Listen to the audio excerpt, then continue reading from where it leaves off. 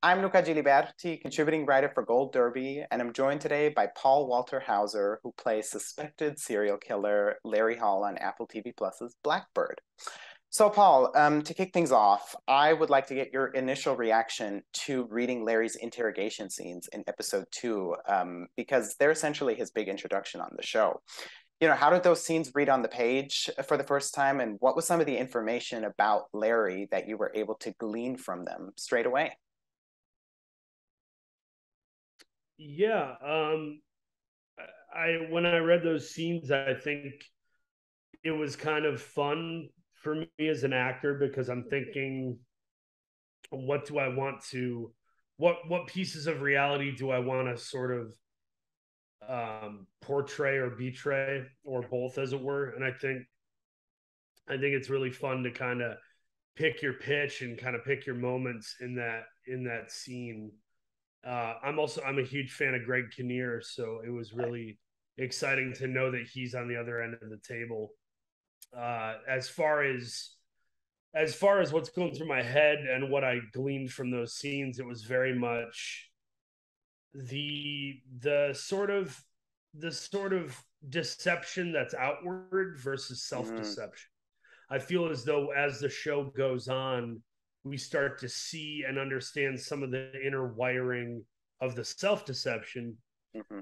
But early on, it is that kind of I know why we're sitting down. Where it's not like we're all catching up. You mm. think that I did these things, and how am I going to portray myself? um, in light of that. And and mind you, this this guy, uh, spoiler free antidote or explanation. Yeah. I will say, this guy had sort of been through this before. This wasn't the first time he had been interrogated or questioned in any manner. Mm-hmm. So I I think like someone who kind of gets away with certain behaviors, maybe you do approach it almost arrogantly and and you treat it as if this is a low stakes uh, I've been there, done that moment, and of course, um, these these people people I say people really it was that one investigator that played by yeah. Kinnear uh, that really pr- pricked a pin in the in the balloon form. Mm-hmm. And you know, I've read that you're someone who does a lot of uh, people watching or behavioral watching uh, to prepare for a role. Oh, yeah.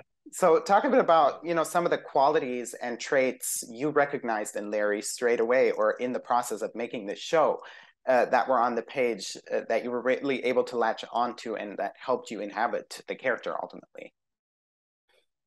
Yeah, I for any actors who might end up watching this or something, uh dude, do not underestimate people watching. Mm. Uh, not only is it just kind of entertaining, and hopefully you can do it in a low key manner where you don't look like a creep, but um, but I think like, dude, the some of the best stuff that I've tried to do or that people have said they liked or something, it's I'm, I'm ripping it from somebody I saw at the airport or yeah. some dude I stood next to at a urinal or mm. literally Vincent D'Onofrio. Like to to play to play this character, I I studied D'Onofrio in Full Metal Jacket.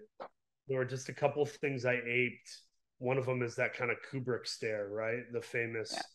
long, sort of soulless, uh, soul being sucked out stare, and uh, and that that remains very very helpful. As far as the page, there were those really cool moments where Lehane said, "Larry looks off. He's in his own world. He, mm. you know."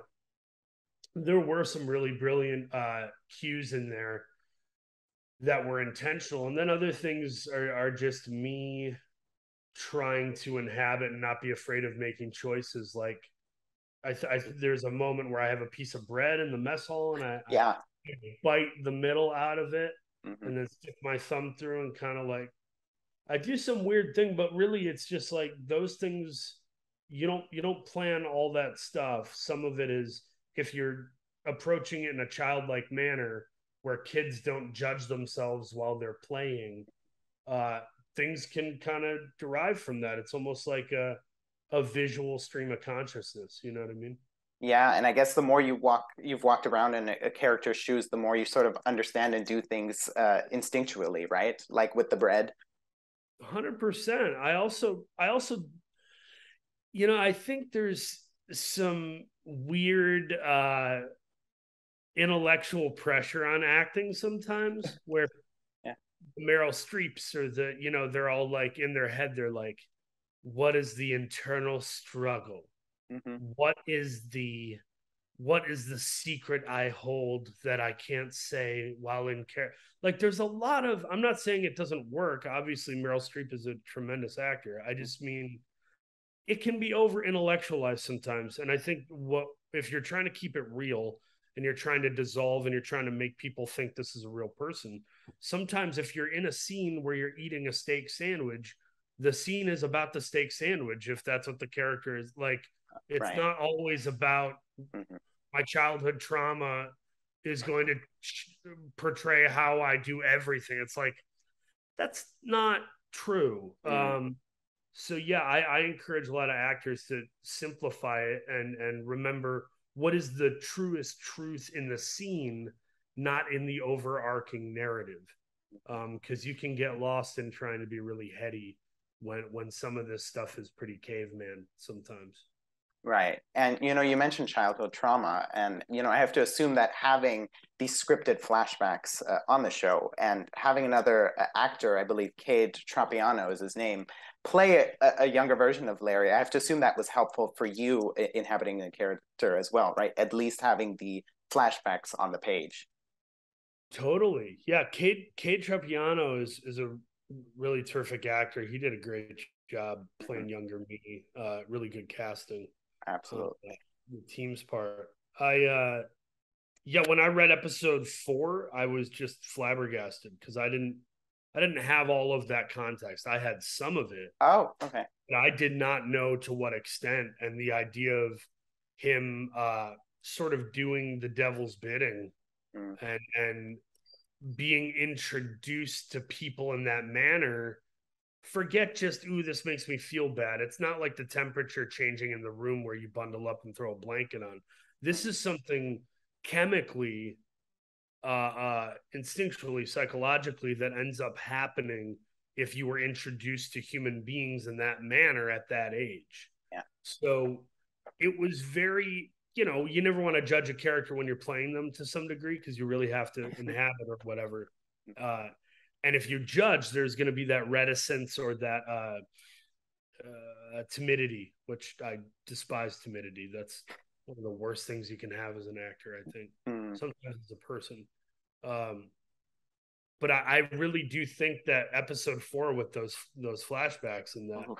that backstory, it allowed me to really humanize him and say, "Whoa, he was a victim before he was a perpetrator." Right? Mhm. Exactly. Exactly. It's very uh, traumatizing to watch uh, for sure. And you know, in another interview, uh, you talked about how your research um, was only or that research only made up around fifteen percent uh, of your preparation process, whereas the other eighty-five percent is you know mostly script work, which I found very interesting. But I'm actually interested in that fifteen percent of research. You know, was that Yeah. just stuff pertaining to the physicality, the mannerisms, uh, his voice, or you know, how did that bit of research add to or inform how you were going to play or approach Larry? Yeah, the, the it would be true to say that the bulk of the research is Dennis's amazing writing and then Mhm. my weird stuff I bring to it creatively. Uh, but I found some audio of of him and you know the audio just when I heard his voice for those 10 12 seconds whatever it was Mhm. he just sounded like a wounded animal but the thing about wounded animals is sometimes they play dead you know what I mean Mhm. And I, I really do think he was kind of playing dead. But as they say in the world of professional wrestling, uh, they call it playing possum. You're lying down just to uh, just to try to portray yourself as as being out of function, and then of course you can either snap back and and get someone in your clasp, or you can be you can have your sentence reduced, or you can be let go, or whatever he was. After clearly he thought that there was going to be a way out of a life sentence in prison and he had to uphold some sort of uh facade you know Mhm. that that was my biggest takeaway from the from the uh research that 15% Right. I think it's very interesting because you've also talked about how there was very there's not that much about him out there, and there's only I think like ten to twenty seconds of audio that you were able to um, access or look at before preparing for the role. So that's uh, crazy. Yeah, there wasn't much. You got to get creative, and uh, and I really I enjoyed the process of creativity. Living in his skin sucks. Obviously, it's not something I enjoy doing. Mm-hmm. Just like when I played a racist piece of crap in BlacKkKlansman, mm-hmm. you know, that's it's not fun doing that, but uh, it is satisfying to know that you're making a Spike Lee or a Dennis Lehane happy when they uh, they all cut and it's like you you know you you hit that thing. Mm-hmm. Yeah. Yeah, I can imagine. And you know, you, have talked at great length about how you perfected that high-pitched, uh, breathy voice, but I'm actually more interested in the inconsistency of it because, you know, there are definitely scenes uh, in which you drop your register uh, vocally. So, why did you make that decision? And would you say that Larry himself does that intentionally? Yeah, I mean, listen, I could try to, I could try to portray myself as being a really awesome, cool actor who doesn't make mistakes the the out of fear I would lie to you, but out of love because I love y'all, I'm going to tell you the truth.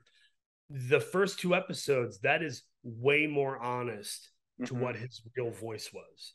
And in all the in all of the confusion of playing the character and what I was going through in my own personal life while filming, mm-hmm. yeah, I just lost it. I just sometimes you lose it. And in episode 2 to 3 there was a transition where it started to get noticeably higher. Mm-hmm and I kind of asked Dennis, I was like, Do you feel like I'm, and he almost cutting me off was like, Yeah, we've watched some footage. It kind of, I was like, Oh God. And then he looked at me and he's like, But you know, Larry, when he's lying, when he has to put on a different sort of character for prison, he probably, the real voice is more like episode one and two. And when he says something that he feels comfortable with, the voice can drop a little bit.